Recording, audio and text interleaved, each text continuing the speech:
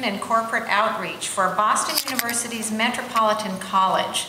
Met- The Metropolitan College is one of 17 college and universities that are associated with Boston University, which is not far from here, by the way, really. It's, it, um, it's not too far, sort of on this side of the city. In her position, she oversees the creation of educational partnerships with companies, nonprofit organizations, and government agencies.